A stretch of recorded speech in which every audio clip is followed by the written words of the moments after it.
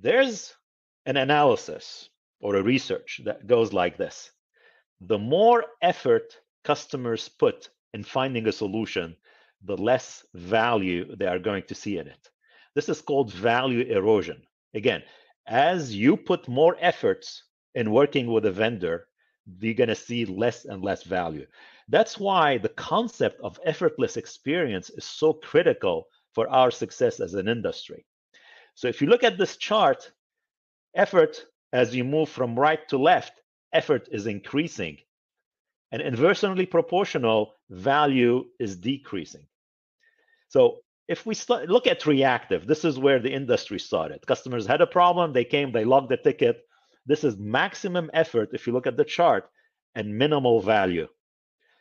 So by the time the customer has come to us in support, and that's a curse of support, by the time the customer comes to us with a problem, they have already they, don't see much value in the service. They're already angry.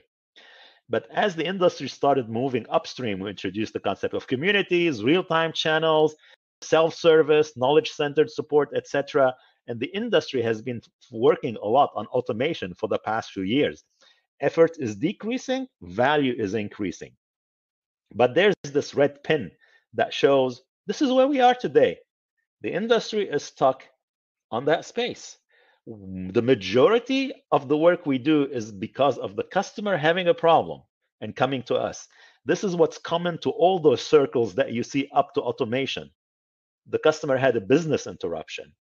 And then we threw everything that we have built and developed over the years. Yes, it's impressive. Yes, it's beautiful. The greatest search engines, the greatest automation, support uh, decision trees, etc., etc it still does not negate the fact that the customer had a problem. And we need to get ahead of that game. If we really want to see maximum value and minimal effort for our customers, we need to get ahead of this game.